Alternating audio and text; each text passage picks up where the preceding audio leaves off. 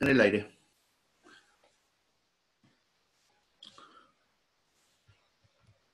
Buenos días, eh, buenas tardes a todos. En breves instantes, en dos minutos aproximadamente, daremos comienzo a este nuevo foro de CIOs.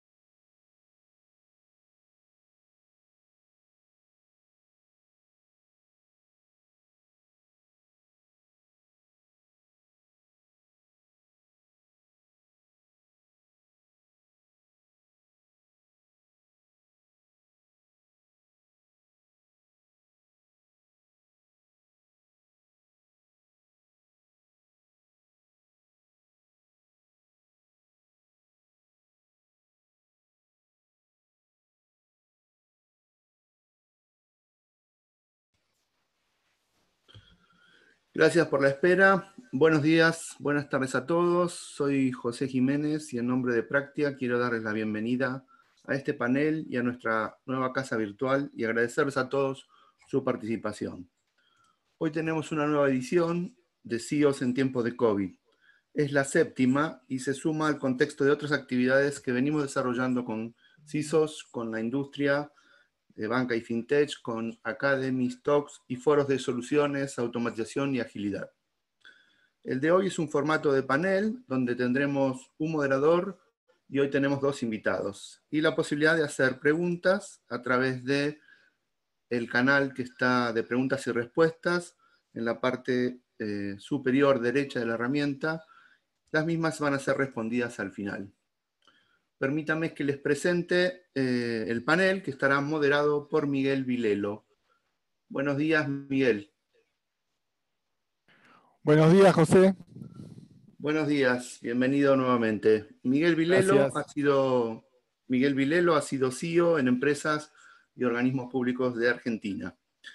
Y nos acompañan también Luis Lenkiewicz, CEO de Denor. Buenos días, Luis.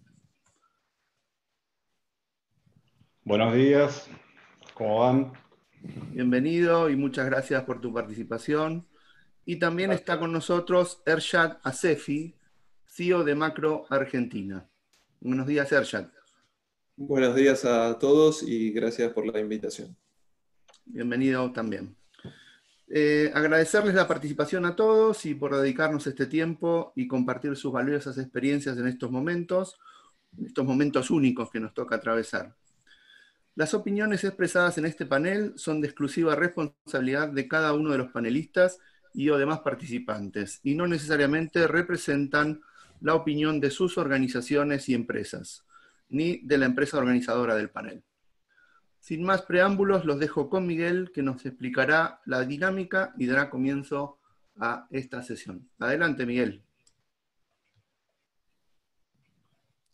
Bueno, buenos días a todos.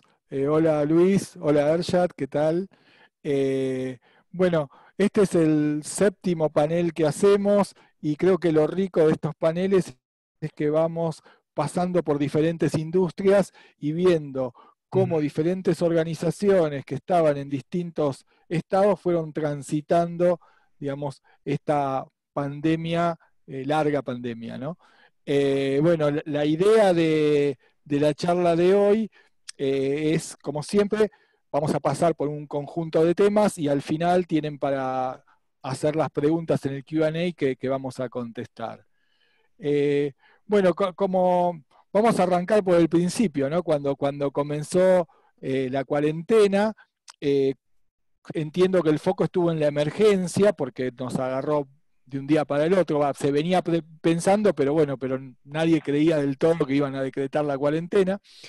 Eh, y lo que quería preguntarles es, bueno, ¿cómo los encontró? Si tenían algún plan de contingencia que cubriera parcial o totalmente eh, esta situación y qué temas tuvieron que, acelerar, que robustecer o que implementar.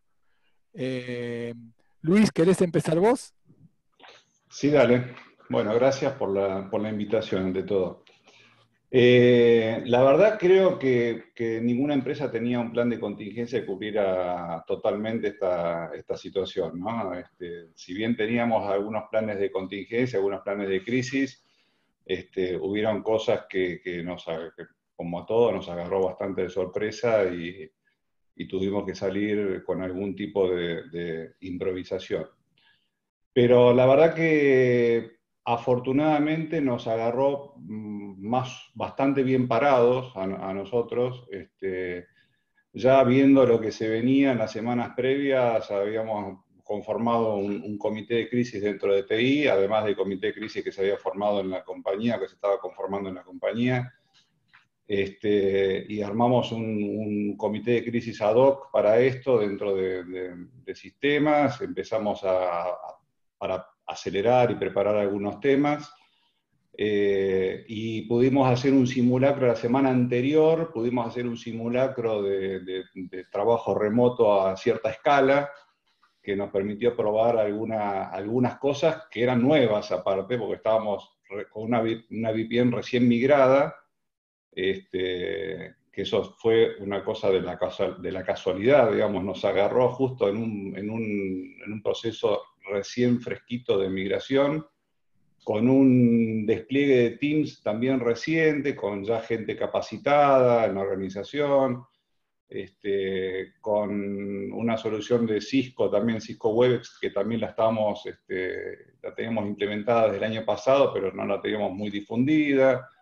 Eh, bueno, y la verdad, y con mucha gente ya con, con notebooks y smartphones. Así que la verdad que en esos, en esos días, digamos, el, desafío de enviar a la casa, a trabajar a casa a 2.200 personas, que más o menos ese fue el número que, que, que, sucedió, que alcanzamos después de una semana más o menos, este, lo resolvimos bastante rápido en los primeros tres o cuatro días.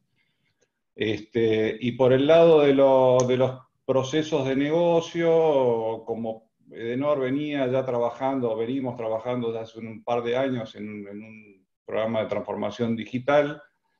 Eh, no tuvimos mayores este, disrupciones en lo que tiene que ver con procesos de negocio. ¿no? Los procesos siguieron fluyendo, digamos, normalmente por la vía electrónica este, con la gente de la casa. Así que salió bastante bien esta primera, esta primer, este primer movimiento corrimos como locos, obviamente, trabajamos fundamentalmente la gente de infraestructura y seguridad, que son los que prepararon todo el, todo el andamiaje este, para esto, corrimos como locos, pero llegamos bien, llegamos contentos. En el living bárbaro, en la cocina corriendo, ¿no? sí, sí, totalmente, totalmente. En la cocina había varios así con los platos con los platos. Algunas quemándose, obviamente, pero, pero bien, salió bien. Pero, comieron todos, nadie se quejó. Eso no se vio, claro. Eso no se vio. Bueno, Erja, te, te paso a vos. Bueno, eh, les cuento un poquito la, experiencia nuestra, me sumó mucho a las palabras que mencionaba Luis, nos agarró todo de sorpresa. Eh, recuerdo muy patente de, cuando se armó esa, comité de crisis con el board, eh, empezamos a ver eh, esto que se venía dando repentinamente y mm, también tuvimos las mismas situaciones como mencionaba Luis. A ver, hubo un factor, creo que también del año pasado que nosotros empezamos a hacer un proyecto de migración de Office 365 que, nos resultó clave en, eso. Digamos, eh, ese proyecto, más algunas mejoras que habíamos logrado en, la parte del data center eh, a nivel de firewalls, nos ayudó y cuando entramos en este momento de, crisis de cuarentena, el golpe no sea tan duro. Realmente eso, eso fue fundamental. Después, igual en, otros temas, como por ejemplo laptops, no estábamos tan bien preparados. ¿sí? Eh, salimos eh, urgente a, comprar y, hacer una compra fuerte y aparte todos los proveedores creo que les, pasó que empezaron a comprar laptops y no había stock, ¿sí? y tenía que estar peleándote con otros en, eh, con el departamento de compras en aprovechar conseguir eh, las laptops que necesitábamos en la oficina. En la oficina teníamos mucha gente, teníamos, podríamos decir, más de la mitad con laptops, pero había la mitad que, que le faltaba. Y, eso fue realmente un desafío para, para la parte de IT, no solo las adquisiciones, sino después eh, adecuar las máquinas, instalarlas, todo el equipo trabajó muy fuerte codo a codo, eh, no parte de, servicios, también hubo duda del lado de, infraestructura, como mencionó Luis, también de seguridad, porque tuvimos que también comprar licencias de VPN, creo que fue esa, eh, eh, esas cantidades de actividades que hace a, continuar la operación. Eh, por suerte pudimos amortiguar ese, golpe repentino y, como les decía, la tecnología que habíamos, nos habíamos apoyado como por ejemplo eh, Office 365 nos ayudó muchísimo también. ¿sí? Eh, acá en, eh, macro, justamente pasar de repente de un mundo que como de un segmento retail, pasar al 100% home office era como algo un poquito tópico, ¿no? y fuimos, fuimos haciendo ese cambio, ese cambio y esa adaptación. Bueno, bárbaro, bueno, bueno, muchas gracias. Em, y ahora vamos a hablar un poquito de, la gente, ¿no? O sea, porque si bien muchas organizaciones y en general en TI algo de trabajo remoto había, acá se extendió a áreas por ahí que nunca habían trabajado en forma remota. Y aparte, en un contexto donde vos antes te quedabas en tu casa, estabas solo en tu casa porque los chicos iban al colegio, todo acá, se dan distintas situaciones, ¿no? Los que viven solos, los que tienen la familia, que tienen que compartir el espacio, eh, el ancho de banda y a veces hasta la máquina. Eh, y bueno, y después también gente de, digamos, de, que estaban, que soportan procesos críticos, que están en grupos de riesgo, ¿no? Y, todo eso pensando primero en, bueno, vamos por 15 días, ahora ya vamos por 120 y pico, y, y hay que mantener la motivación sobre todo en, una, en un sector donde tuvo mucha demanda, ¿no? ¿Querés contar algo, Ershad, de eso? Sí, eh, a ver, eh, toda esa, adaptación y, ese mundo nuevo que, nos vino encima hizo que eh, los tiempos se mezclaran, ¿no? O sea, el tiempo de, estar con los chicos, el, mismo los chicos, al no poder ir al colegio, también estaban, aparecían de fondo en las reuniones, en Teams, o sea, eh, se dieron ciertas situaciones que jamás eh, nos imaginábamos eh, tener tantas calls diarias que se cruzan los chicos, etc. Em, el equipo también era, era bastante difícil mantener motivado, pero creo que, fundamental fue el, el hecho de que haya espacios para poder dialogar, para poder ver Em, qué es lo que pasa, las inquietudes de cada equipo, en, digamos, las necesidades y las inquietudes son diferentes. Y nosotros, por lo menos, lo que, lo que hicimos era justamente como tenemos que dar mantenimiento a un data center también y siendo actividades esenciales, eh, teníamos que, y seguimos yendo a la oficina, eh, tratamos de estar siempre remotos, pero la verdad que la operación manda y, muchas veces tenemos que estar ahí. ¿sí?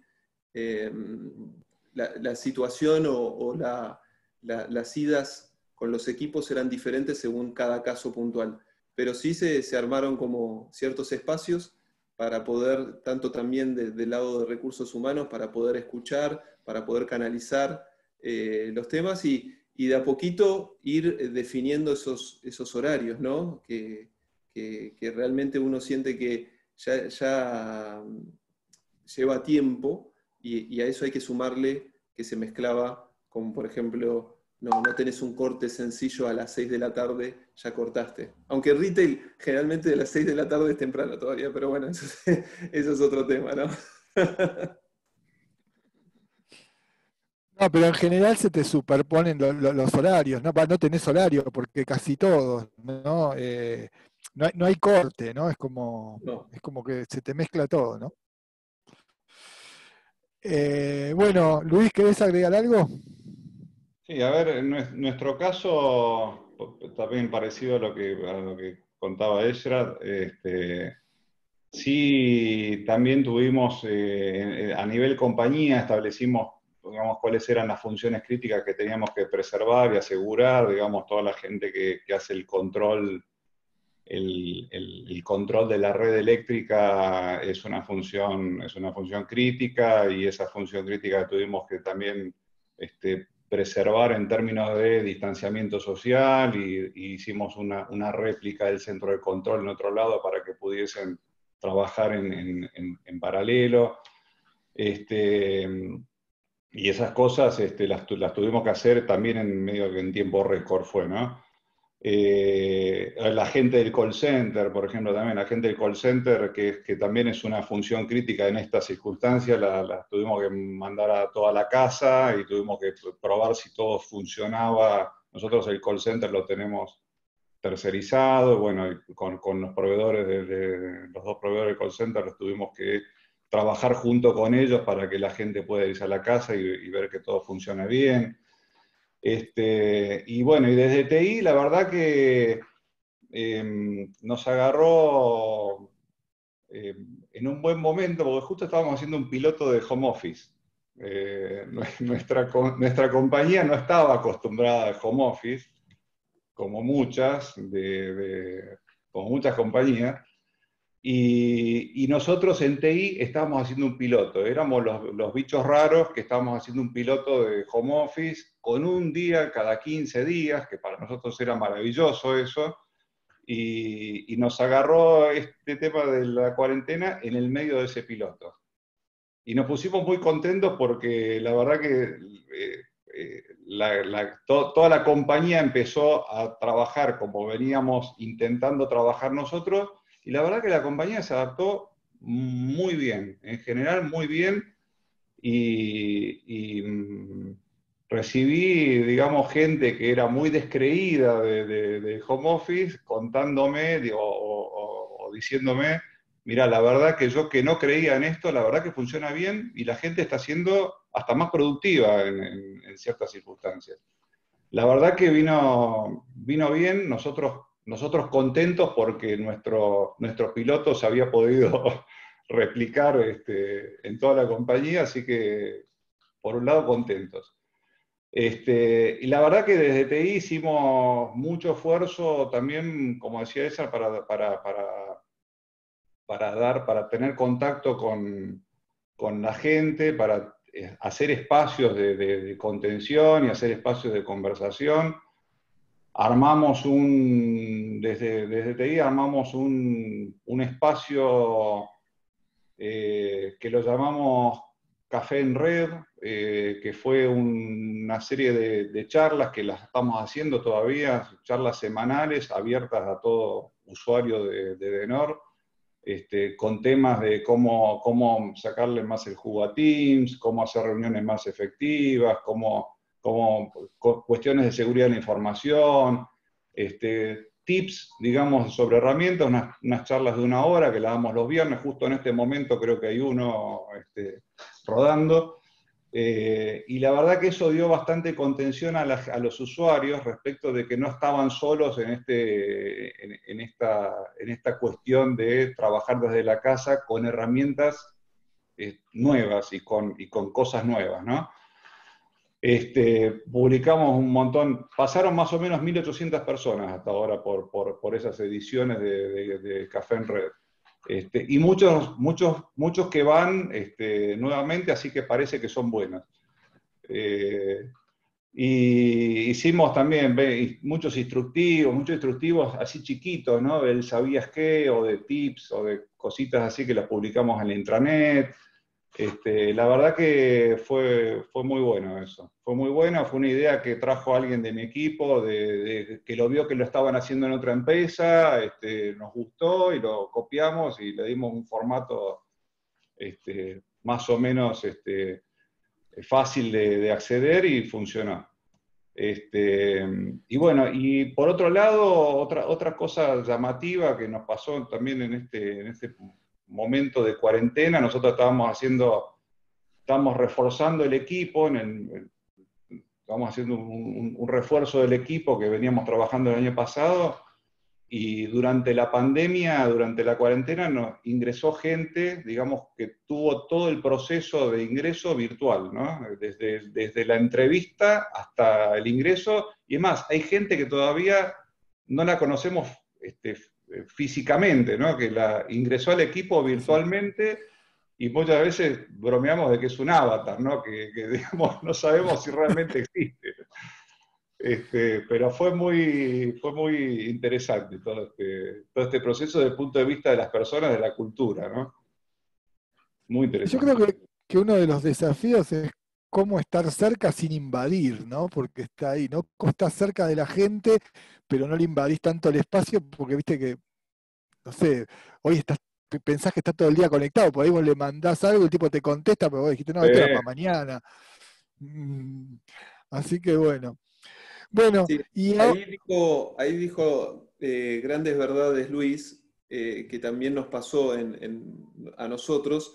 Primero que eh, los equipos dentro de este nuevo mundo se organizaron mucho más con las calls, ¿no? Antes, por ahí uno, entre una call o una reunión física y la otra, llegabas 3 y 10, 3 y 5. Ahora creo que ha pasado a todos que son relojitos, o sea, te sale la notificación, te enganchas y entras. Eso. Y después es muy interesante lo que menciona Luis, el hecho de no, no conocer a la gente físicamente. Qué gran cambio, ¿no? O sea, la parte humana, la de la calidez de, poder estar y, todo esto a través de, la parte digital y videoconferencias. Sí, sí. Yo creo que esto demostró por lo menos dos cosas. Una, que se puede teletrabajar, ¿no? porque viste que en muchas organizaciones había bastante reticencia a eso. Eh, no en tecnología, sino en general en la organización. Tecnología generalmente lo hacía de alguna forma. Y la otra es que, es que tecnología, digamos, la tecnología permitió que las empresas operen, ¿no? De la importancia de la tecnología en las empresas. Si, si esto hubiera ocurrido, no sé, 20 años atrás eh, hubiera sido totalmente diferente, ¿no? O sea, la, tecnología actual hizo posible que tuviéramos una calidad de vida bastante aceptable en la cuarentena, ¿no? Totalmente, totalmente. Sí, tuvimos nuestros 15 minutos de fama, ¿no? Con, con, de la pandemia de la gente de tecnología, sí. Sí, sí, yo creo que sí, que fue un, fue un no sé, para, para, para, la tecnología fue importante por el rol protagónico que tuvo, ¿no? Sí.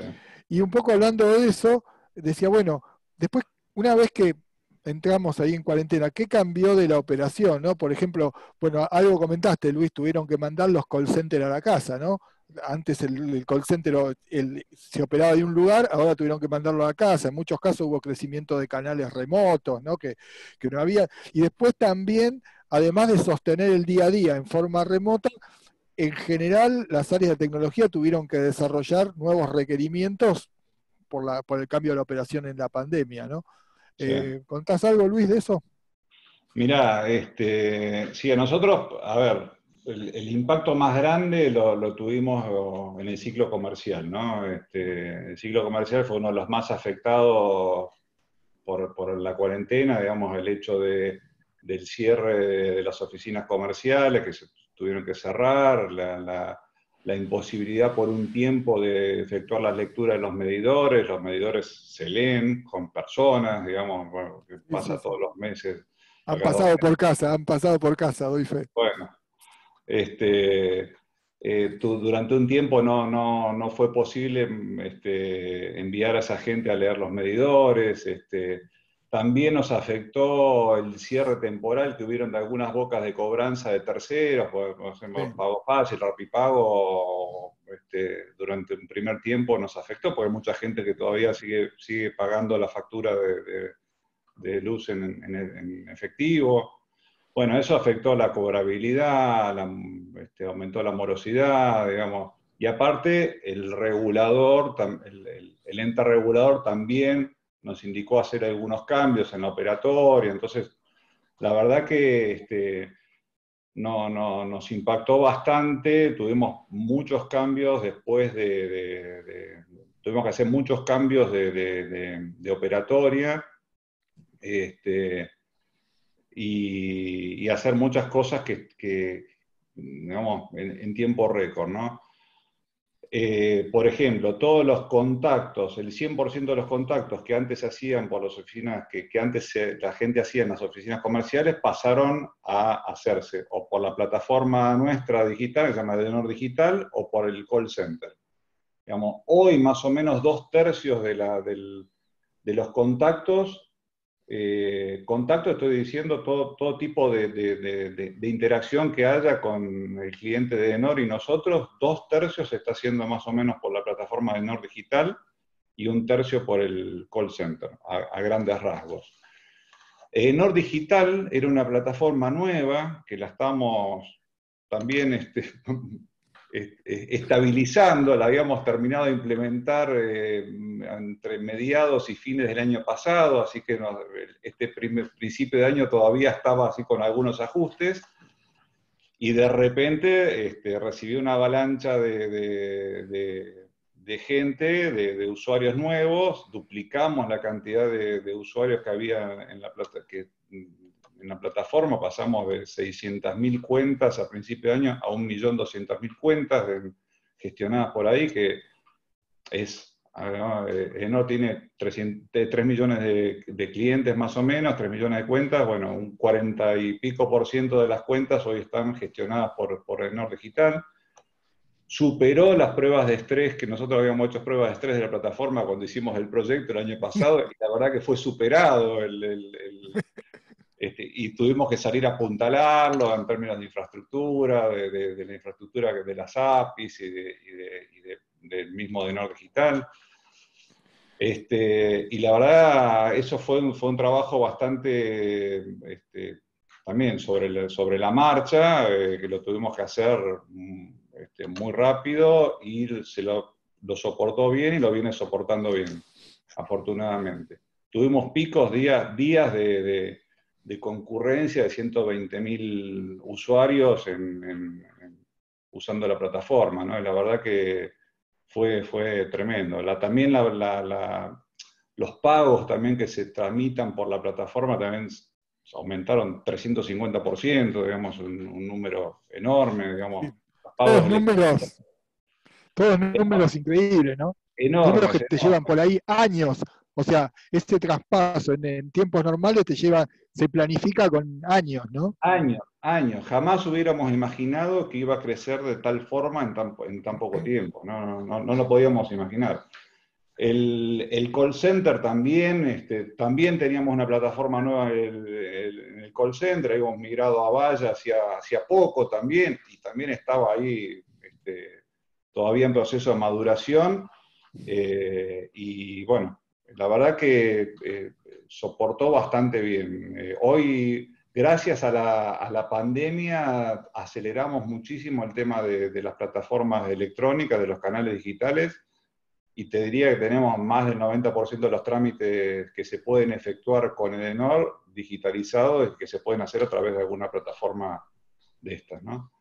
Este, pero corrimos bastante, la verdad que corrimos bastante y seguimos corriendo con eso porque no solo en, las plataformas digitales tuvimos que meterle cambios, sino que en los sistemas transaccionales, que es lo más duro, ¿no? Muchas veces y lo más lento. Eh, pero bueno, aquí estamos, vivos. bueno, Ershad. Bueno, nosotros eh, primero eh, desde la operación ya empezábamos a vivir ciertos cambios antes de la cuarentena, con, dentro del segmento mayorista, como todos saben, el, cliente consumidor final también empezó a volcarse y ver atractivo eh, las compras eh, mayoristas del mes, ¿no? Eh, cuando estábamos empezando, digamos, me acuerdo bien, en, marzo, que empezó a, salir este tema de la cuarentena y demás, eh, los mayoristas por lo menos, y, creo que todo el segmento de supermercadismo eh, subió muchísimo eh, picos de venta porque todos empezaron a estoquearse, ¿sí? y fueron a buscar, el alcohol en gel desapareció, mucho papel higiénico, que no sabemos por qué, pero bueno. Nadie sabe explicarlo eso. Habría que hacer un estudio, pero bueno, de ese tema, pero de todo el surtido se llevaron... Yo creo que ninguna, ninguna herramienta de Analytics hubiera podido predecir eso, ¿no? De que la gente sale corriendo.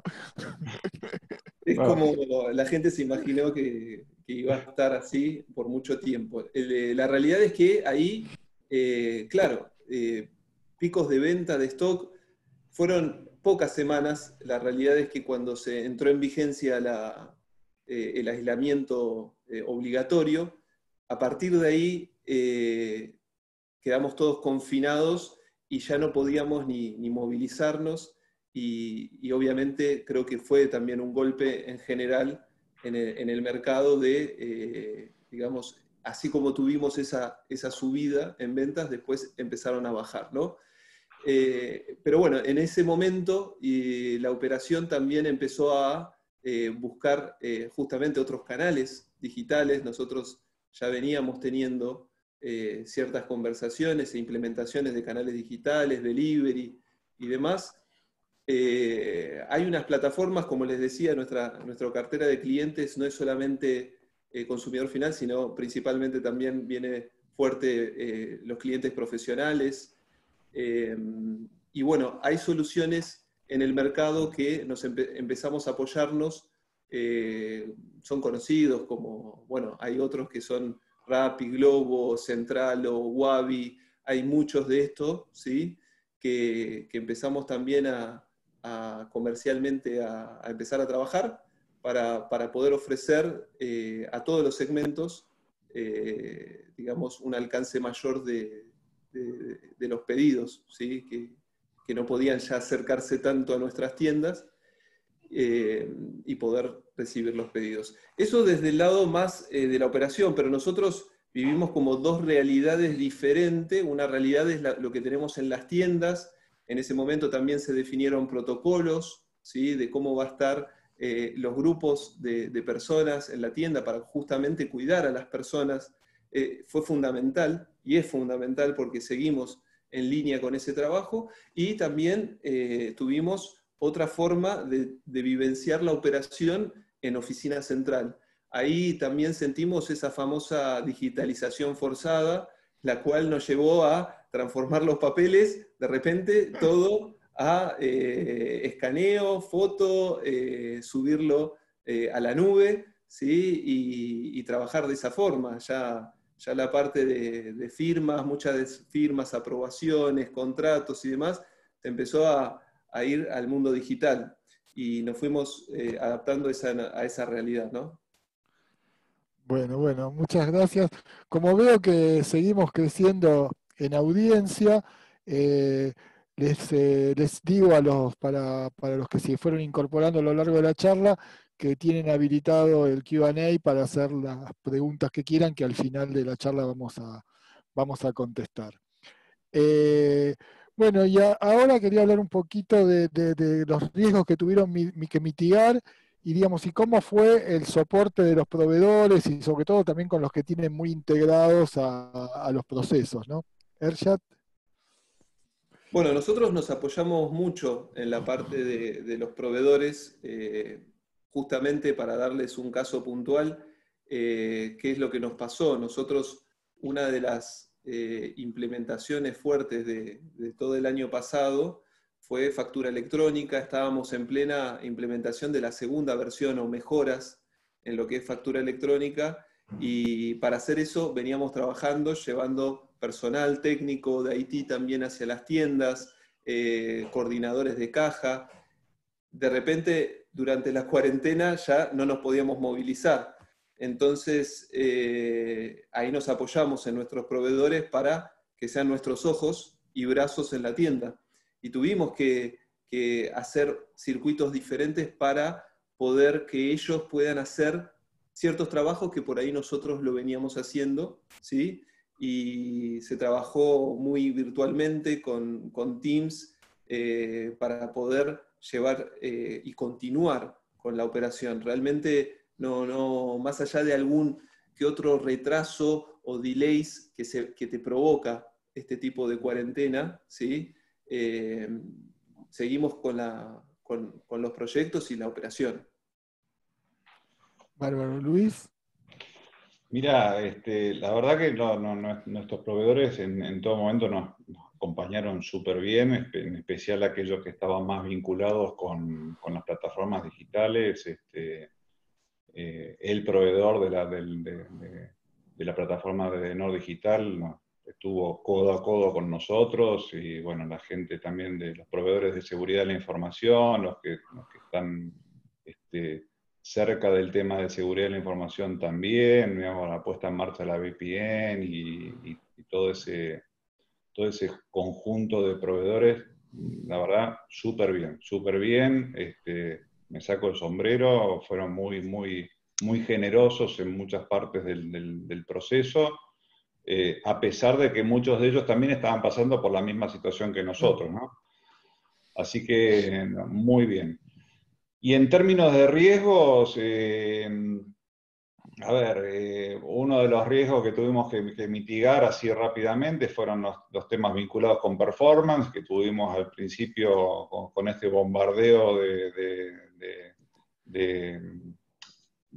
gente, digamos, queriendo usar eh, las plataformas digitales. Este, en algunos primeros momentos tuvimos alguna, algunos ajustes que hacer de de, infraestructura, de, cuestiones de performance, este, y la verdad que fue un tema, fue un tema que, nos ocupó bastante tiempo, vamos, un par de semanas hasta que le agarramos la mano.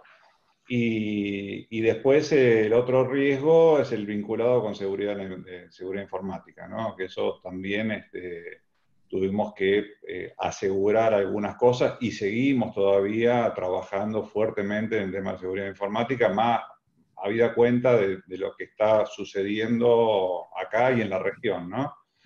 En, la, región, este, algunas compañías eléctricas este, han tenido algún, alguna, alguna dificultad, algún ataque, qué sé yo, así que estamos ahí trabajando muy, muy de cerca con ese tema y y eso es un tema que va a estar en la agenda, creo que es uno de los temas que va a quedar o va a perdurar este, incluso post pandemia, ¿no? Y sí, yo creo que una operación más digital va a requerir más ciberseguridad y encima con la gente desparramada, por, porque no, antes te asegurabas tu, digamos, tu local, donde estaba. Ahora, tu perímetro, claro, ahora tu perímetro es, todo. ¿viste? todo, ¿viste? ¿Qué sé yo? El que se cuelga de la red del vecino porque es más rápida, ¿viste? ¿Qué sé yo? Te aparece todo, ¿no?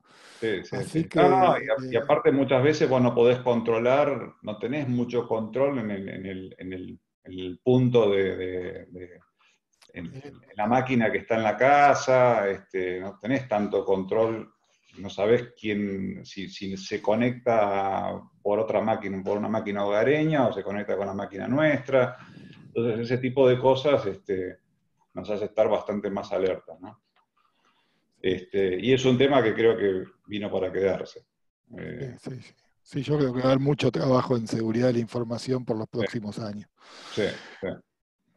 Eh, bueno, y, ahora vamos un poquito a, lo que todos esperamos, ¿no? la nueva normal o la nueva anormal, no sé ya cómo, cómo es la mejor forma de llamarla, pero eh, digamos, ¿qué cosas piensan que, se van a mantener de, la, de las que estuvieron? Mantener no, quiere decir igual, sino mantener por ahí parcialmente, ¿no? Y qué cosas no. Eh, yo por lo menos espero que lo de lavar todo con, con alcohol después de comprar no se mantenga más porque me tiene cansado, pero digo, ¿qué cosas pensamos? Eh, y digamos, y bueno, y algunas cosas ya hablamos, qué cosas van a necesitar reforzarse por, una operación más digital y más remota, la seguridad es una, ¿no? Pero bueno, ¿qué cosas piensan que se van a, mantener y, qué cosas no? Eh, Ershad, bueno, sí. Bueno, de, eh, mi parte, yo creo que primero esto va a ser gradual, ¿sí? Lo que se va a mantener, obviamente, eh, este cambio de mindset que vimos que toda la operación se puede mantener y estando 100% home office, esto fue una, gran evidencia que, le pasó a todas las compañías, eh, fundamental. Y esto nos marca también un, antes y un después, ¿no? Eh, después, gradualmente, obviamente, yo creo que vamos a volver a las, oficinas. Eh, no vamos a estar todos al 100%, pero sí, digamos, con un porcentaje o un distanciamiento respetando ciertas normas. Va a haber unas nuevas normas, ¿sí? Eh, esperemos que nos volvamos a saludar como, como era antes, que no, no seamos eh, fríos eh, en los saludos, ¿sí? Y del lado tecnológico creo que hubo un avance muy grande, porque se implementaron cosas de la noche a la mañana que, en otros momentos llevaba todo un, para decirlo de alguna forma, un business case, un proyecto, veamos cuánto es la inversión y, de repente eh, tuvimos que estar securizando todo, implementando cuestiones de seguridad, como lo mencionó Luis, eh, después desarrollos también que se tuvieron que hacer durante integraciones, eh, APIs, ¿sí?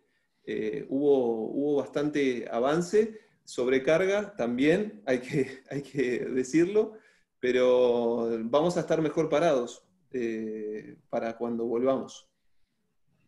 Luis. Mira, bueno, eh, home office creo que es algo que claramente con sus gradientes, con su, con su matices, este, va a quedar y se va a mantener. Digamos, justo hoy, después de, después de esta charla, tenemos una reunión este, a nivel compañía para ver cómo vamos a, continuar con, con, ese tema, cómo vamos a retornar, pero hay una, hay una idea de, de, retornar con un nivel este, bastante alto de home office. En, en, nuestro caso particular de TI, yo creo que vamos a ir un, a un 70-30 fácilmente, ¿no? Yo tengo algunas, algunas posiciones del equipo de IT no son tan homeables, por ejemplo, la gente de telecomunicaciones o la gente de, operaciones de data center y eso por ahí no son tan homeables, pero buena parte va a ser, va a ser este, eso creo que va a quedar. Sí va a quedar también una profundización, como vimos, como vimos que no fue bien, este, el nivel de digitalización con nuestros clientes, eso se va a profundizar, se va a profundizar y, va, y vamos a, buscar que el canal preferido sea el, digital, sin dudas. Este, eh, y eso considerando que nuestros clientes no, no estaban acostumbrados, que buena parte de nuestros clientes por ahí no estaban muy acostumbrados a usar canales digitales, ¿no? Eh, es, es una industria que por ahí al cliente le gustaba ir a la oficina comercial o, le, preferían ir a la oficina comercial porque, este, bueno, eh, obviamente no vamos a, seguramente no vamos a digitalizar el 100% de nuestros clientes, pero este, eso vamos a, profundizarlo, vamos a agregar todos los trámites que nos faltan y, tratar de mostrarle a que, el, que el, canal digital es tan bueno o mejor que el, físico, ¿no? Este, y después otra cosa que, creo que tenemos también que ir mejorando, profundizando y que, también vimos que nos fue bien es nuestro nivel de interacción este, o, integración con, otros agentes externos, ¿no? Caso, en nuestro caso particularmente con las entidades de pago que trabajamos muy bien, la entidad de cobranza externa trabajamos muy bien en este, durante esta pandemia, también ellos tuvieron que ayornarse y, y, salimos a integrarnos mucho más rápido de lo que, eh, de lo que habitualmente estábamos acostumbrados y creo que eso, eso también va, va a quedarse, el nivel, nivel de integración con, con, con, actores que son externos a la compañía de integración digital, ¿no? Estoy hablando, con bancos, con entidades de cobranza, con con, otros agentes y con reguladores también, ¿no? Bárbaro. Bueno, y ya nos estamos acercando al, final, con lo cual voy a hacer la última pregunta y después pasamos a, las preguntas de, la audiencia. Eh, ¿Qué aprendizajes le dejó la crisis? ¿no? ¿Qué, cuáles fueron los grandes aprendizajes? Supongo que los programas de transformación los acelera, se van a mantener y acelerar, ¿no? Pero, pero además de eso, digo, ¿qué, aprendieron de la crisis? Luis. Mirá, una de las cosas que, aprendimos, este, estoy hablar ya más desde, las personas y desde, desde mí en particular, es, creo que lo, mencionó antes César, es el, el, mantener el contacto humano, ¿no? de mantener este, el vínculo, aunque sea de forma virtual, qué sé yo, tener un espacio para, para poder hablar de lo que le pasa a la persona y no solo lo que, lo que le pasa o, lo que, lo que pasa con su rol o con su actividad este, laboral, ¿no? sino lo que le pasa este, lo que le pasa en su casa o cómo se está arreglando, cómo se arregla con los chicos y con los ah, animales domésticos que por ahí cruzan por, detrás de una, de una videoconferencia. Este, y estas cosas, eh, creo que la verdad esta, cuestión del acercamiento o de mantenerse cerca a nivel humano, creo que es un gran aprendizaje en, en, un, en, una cosa o en, una, en un contexto de este tipo, ¿no? Este, esto de que alguien te escucha, que alguien te cuida, que alguien te, está, está detrás y, y, entiende la angustia por la que está pasando, por la que estás pasando, ¿no? Estas son cosas que, quieras o no hacen la diferencia y, hace que la gente también este, se sienta contenta o se sienta contenida para, poder seguir trabajando a pesar de, ¿no? a pesar de, la situación. Y creo que ahí como, como, si bien todos estamos pasando por este proceso, creo que los líderes tenemos una responsabilidad mayor este, de, mantener, digamos, esa, contención y esa, esa cuestión, esa escucha, esa cuestión humana con, nuestra gente, ¿no? Este, y después, bueno, la otra, el otro aprendizaje es que, una vuelta escuché una frase que me gustó, que viene para la ocasión, es que el futuro ya no es lo que solía ser, ¿no? Que nada de lo que, nada de lo que imaginamos este, eh, resultó ser como lo imaginábamos, ¿no? Porque todo esto, la verdad, nadie lo tenía en su... Y si alguien hubiese pensado que este riesgo se iba a materializar alguna vez, creo que te hubieran dicho que estabas loco. Y yo me imagino, no sé, en enero del 2019, en febrero, en mayo, qué sé yo, presentando esto en un comité de dirección, ¿no? Claro, claro. Creo que te ponían una camisa de fuerza, te ponían una camisa de fuerza, cuatro Valiums y a tu casa, ¿no? Claro. Volvé cuando estés bien. Este, así que, bueno, e, ese es un gran aprendizaje, ¿no? Que sí, bueno, todo lo que imaginaste que iba a resultar, que iba a ser el futuro, la verdad, es totalmente diferente. Fue absolutamente superado, digamos, la, realidad superó a, la, imaginación. Este, y bueno, y, la verdad que desde el punto de vista empresa, esto que hablamos antes, ¿no? de, priorizar la, digitalización de los procesos, todo lo que se pueda, eh, y cuidar la, experiencia del cliente, creo que va a ser la, prioridad número uno de acá para adelante. ¿no? Bárbaro, muchas gracias. Ershad. Bueno, yo coincido plenamente con lo que mencionó Luis, que el factor humano fue lo más importante de, este aprendizaje. Eh, pasamos a, no estar en contacto directo, pasamos a eh, tener, eh, digamos, temas más de, los tiempos que se mezclaron, las ansiedades. Realmente el feedback constante en los equipos y que eso lo reciban eh, todos los equipos y que haya retroalimentación en feedback y, en qué cosas tenemos que ayudar, eh, fue fundamental para, salir o adaptarnos a este nuevo mundo. ¿no?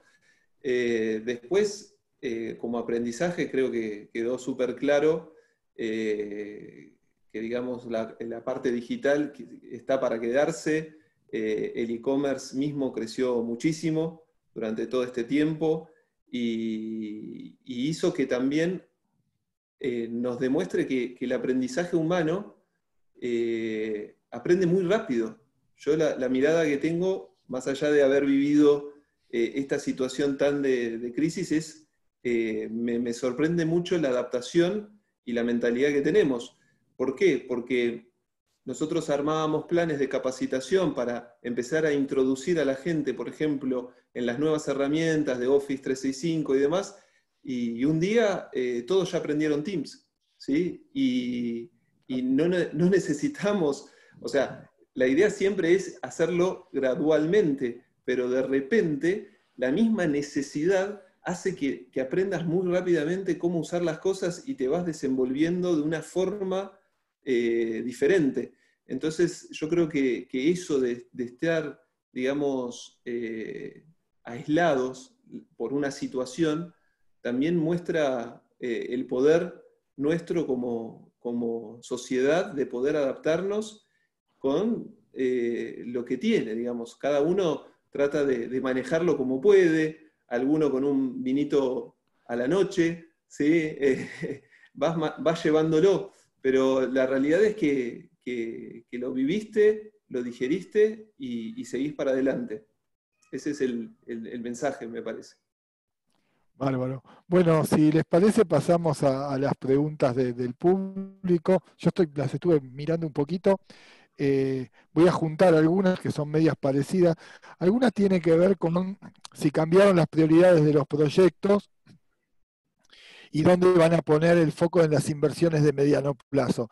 Yo esto lo que le agregaría un poco es, encima, digamos, en un año, dos, si cambiaron las prioridades de proyectos, se va a requerir por ahí más tecnología en un año donde la facturación es un tema para todas las organizaciones. ¿no? Por ahí algunas están un poco mejor que otras, pero creo que casi todas salvo los que vendían eh, notebooks, digamos que, por ahí ya cumplieron la cuota, no sé, en marzo cumplieron la cuota anual,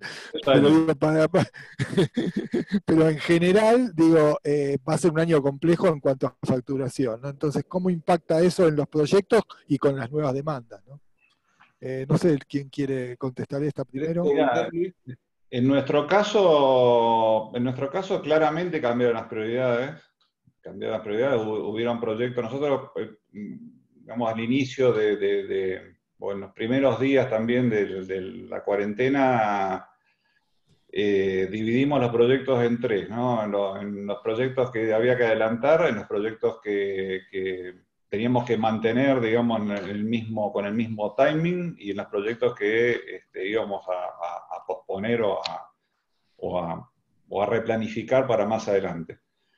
La verdad que en términos de cartera así general de proyectos para este año quedó más o menos la misma, quedaron más o menos la misma cantidad de proyectos calendarizados diferentes. ¿no? Hubo, hubo algunos que los tuvimos que traer bastante más para adelante, por ejemplo, todo lo que estaba vinculado con seguridad de la información, que los teníamos un poquito más, este, estaban más relajados este, en, el, tiempo, los trajimos más para adelante, y los que tienen que ver también con eh, el ciclo comercial, también los trajimos más para adelante. Eh, la verdad que así del de, digamos, no tuvo un impacto grande, grande en la, en la composición de la cartera, sí en la calendarización de la cartera. En general. ¿Ershad? Bueno, en nuestro caso, eh, tengo que decirles que eh, las prioridades no cambiaron, siguieron iguales de, de, críticos. De hecho, nosotros estábamos en el 2020 eh, era un año fuerte en dos proyectos grandes dentro de Macro, uno es regional y otro es local, ¿sí? Eh, donde estamos cambiando completamente, eh, te diría, casi toda la tecnología. ¿sí? esto viene gestándose desde años, ¿sí? y grandes de esos resultados se van a ver este año. ¿sí? Entonces, ¿qué nos pasó? Esas prioridades no cambiaron, seguimos con esas prioridades, sí se sumaron otras prioridades. Eso es, lo, interesante del mundo retail, ¿no? Se sumaron y, por ejemplo, eh, algo que se viene trabajando desde la transformación digital, que es el e-commerce, eh, empezó a tomar mayor protagonismo. ¿sí? Entonces, eh, se aceleraron sí tiempos, ¿sí? Y muchas veces esto también un poco eh, se trata de eh, formar equipos de trabajo nuevos para poder también eh, recibir esa, demanda grande a nivel proyectos. Pero la realidad es que no solo no pudimos ponerle, digamos, bajar las prioridades, sino que nos aceleró, ¿sí? de una forma muy vertiginosa. Eh, eso es un poquito en resumen del lado nuestro. Mm. Bárbaro. Acá hay otra pregunta que dice, ¿qué capacidades o habilidades creen que serán claves para las áreas de TI en el futuro? Buena pregunta. Es una gran pregunta, sí. Es una gran pregunta, sí, es como...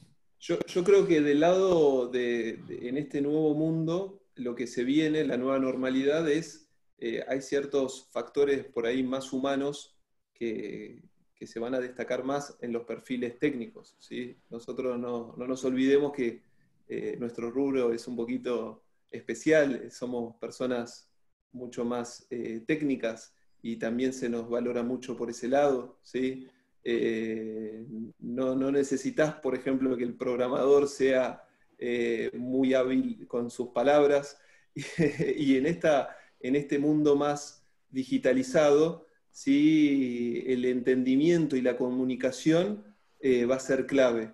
Va a ser clave porque los entendimientos, eh, al, tener, digamos, los procesos que, tenés que estar apoyándote más en, tener calls diarios, semanales, mensuales, eh, hace la cosa. Y, también la metodología. Me parece que, que si uno maneja eh, hay distintas eh, metodologías, pero si manejas metodologías más ágiles, eh, esto te, ayuda muchísimo. Mm. Luis. Sí, yo coincido que el tema de las habilidades blandas este, dentro del ámbito de, TI es una, es una, deuda, es una deuda pendiente. Este, y yo, siempre digo que en, las áreas de tecnología deberían trabajar este, gente con deberían trabajar antropólogos, deberían trabajar sociólogos, deberían trabajar gente que venga de, disciplinas blandas, me van a matar algunos de, la gente de mi equipo y mis colegas, pero que venga de las disciplinas blandas, este, eh, la verdad que creo que ayuda, ayuda a esto que decía eso, a, la comunicación, al entendimiento del otro, a, trabajar. Nosotros trabajamos con el otro siempre, ¿no? y la verdad, y trabajamos para el otro.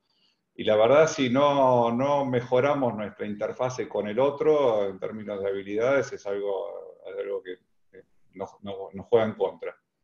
Y después, desde el punto de vista técnico, todas las, habilidades que tengan o los skills que tengan que ver con, con, datos, con, con, analítica, con, son, son skills que, y, y, con el tema de nube también, ¿no? Que, que también nos está dando vuelta fundamentalmente a las áreas más, más, duras, más de infraestructura, este, que, digamos, incorporar los conceptos de, por suerte ya ahora, digamos, se ha, ido mejorando esa capacidad, pero eh, esos skills de, nube, de analítica y de, cuestión de datos son, son skills, aparte, son difíciles de conseguir en el mercado, este, hay pocos buenos eh, y son cosas que tenemos que ir preparándonos.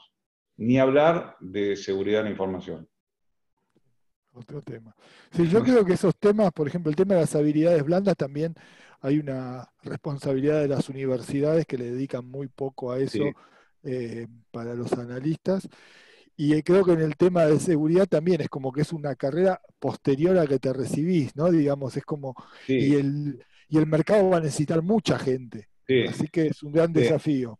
Sí, es un gran desafío. Bueno, no hay, no hay, hoy no hay una carrera, hoy acá en Argentina no hay una carrera que, te oriente hacia, hacia seguridad de la información y mm. generalmente son cosas que se hacen después de estudiar una carrera de información. con lo cual formar a uno te cuesta toda la carrera más todo lo después, ¿no?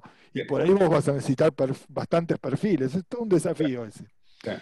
Bueno, nos estamos pasando la hora, voy a hacer alguna más. Acá preguntaba, bueno, hay dos preguntas vinculadas, una de Silvia, Silvia Zweig, que yo la, conozco, así que, y otra de Gonzalo Domínguez, que tienen que ver con la vuelta a la normalidad o pseudo normalidad, ¿no? Si ya tienen armado un protocolo, o si están pensando implementar cambios tecnológicos como controles de temperatura, medición de público, seguridad, algunos de esos temas. Eh, de nuestra parte lo estamos todavía planificando, ¿no? ¿no? lo tenemos absolutamente definido, pero sí sabemos que la vuelta va a ser con, con, digamos, con menos densidad en la oficina, por lo tanto vamos a tener que manejar ese control de densidad en, las oficinas para, estamos, estamos analizando alternativas, digamos, para, para reservar turnos, digamos, en los escritorios, por ejemplo, eh, el tema de los controles de acceso y, control de temperatura lo estamos evaluando, no, es algo todavía que no tengamos, tengamos mucha precisión sobre eso, pero mm, si esto de probablemente hoy estamos acostumbrados a, tener este, oficinas con, con, bastante o con un nivel de densidad alto y con cada uno con su, con su puesto fijo, probablemente tengamos que repensar eso, si, si, los puestos van a ser fijos en las oficinas o van a ser puestos móviles y con, con reserva, digamos, todo eso lo estamos, todavía no lo tenemos definido, este, lo estamos empezando a pensar ahora en la compañía. Bueno, sí, de nuestro lado, eh, hoy nosotros, por ejemplo, como les contaba de, los proyectos que tenemos, eh, tenemos que hacer interacción mucho con las cajas. Y las cajas, para hacer pruebas UAT necesitas poder eh, conectarlo, probarlo. Antes lo teníamos todo en un mismo laboratorio y ahora ese laboratorio quedó disperso por las distintas salas de, la oficina. ¿Por qué? Porque teníamos que respetar distanciamiento, ¿sí? Eh, empezamos a dispersar. O sea, cuando volvamos a la oficina, lo primero, no hay salas, ¿sí? Eso es fundamental. Eh, pero sí, se trabaja mucho en, creo que en todas las compañías, en armar clusters, ¿sí? Hoy nosotros todavía estamos en planificación, ¿sí? No, no, hay una, digamos, una necesidad fuerte, salvo que la persona tenga que ir, y, hay personas en la oficina eh, en este momento, pero se está trabajando con un protocolo, como, como lo dijo recién Luis, de tener eh, grupos, no va a haber digamos, de repente todos de vuelta a la oficina, va a ser con menos densidad y eh, agrupando a la gente para saber ante cualquier, eh, digamos, issue o, problema, poder aislar a esas personas y que, que puedan continuar el resto, ¿no? Bueno, ahora es el momento donde dejamos los instrumentos, salimos y después hacemos que volvemos a entrar, hacemos que nos vamos, volvemos a entrar y decimos, vamos a tocar dos más. Eh, así que, bueno, hacemos eso, ya lo hicimos. Y ahora eh, hay una pregunta para vos, Luis, que dice si tienen pensada algunos temas de inversión en la red tecnológica, como por ejemplo medidores inteligentes interconectados, ¿no? para, para que tomen la medición Sí, sí, este, sí está, está en el plan. Eh, de hecho, hoy ya tenemos más o menos unos 5.000 medidores conectados a, nuestra red, lo cual es, muy poquito para la cantidad de clientes que tenemos, pero en nuestro 5.000 digamos que incluyen medidores que son de clientes y medidores que son internos. ¿no? Hay nosotros usamos varios medidores que son de interno para medir este, energía que pasa de una zona a otra, digamos, se llaman medidores de frontera. Este, de clientes tendremos unos mil y algo. Eh, sí, está, hay un programa que, para desarrollar en varios años, que la idea es llegar a, medir el 50% de la energía que nosotros vendemos a través de medición inteligente. Este, muy orientada a los grandes y a los, y a los medianos clientes. Claro. Y bueno, el otro tema es que esto es para ambos, dice, ¿cómo se vio afectada la cantidad de personas de Haití? Si aumentó o disminuyó, o si se mantuvo en la pandemia. Yo ahí cuando dicen Haití, para mí son todos, no son no solo los efectivos, sino si contrataron afuera, para mí son más gente de Haití, ¿no? O sea, independientemente de la relación laboral, ¿no? No sé si, no sé si Ershel, querés arrancar vos. Mira, en nuestro caso aumentó, sí, obviamente, por eh, ya veníamos con proyectos, teníamos que mantenerlos y, aumentamos. Eh, así que sí, a nivel equipo creció, creció. Y también crecieron eh, los servicios con, proveedores, ¿no? Que, que nos apoyamos mucho en eso. Nosotros no solo tenemos proveedores en las tiendas, sino también para el data center, mantener y asegurar el nivel de telecomunicaciones entre tiendas hasta el data center. Es fundamental mantener el nivel de servicio alto, ¿sí? porque al estar todos conectados necesitas que siempre eso esté arriba. ¿no? Entonces sí, eh, no solo aumentamos en, personas, sino que también en proveedores. Luis. Y nosotros también aumentamos. Aumentamos, ya veníamos con un programa, con un, desde el año pasado, como comenté antes, veníamos con un programa de incorporaciones y, y eh, de hecho este, lo estamos revisando ahora porque posiblemente tengamos que reforzar todavía algunas áreas más de lo que teníamos pensado a partir de este nuevo contexto. Bueno, bueno, ya nos hemos excedido unos seis minutos, con lo cual eh, damos por terminada la, charla. Muchas gracias Luis, muchas gracias Sergio, y bueno, y gracias a Práctica por darnos este espacio para poder compartir experiencias. ¿no? Bueno, muchas gracias por, la invitación y muchas gracias Miguel y Esra por, por, esta charla, la verdad que es muy, muy cómodo, muy, muy linda. Sí, gracias Luis, Miguel, la verdad que estuvo muy bueno. Eh, así que muchas gracias.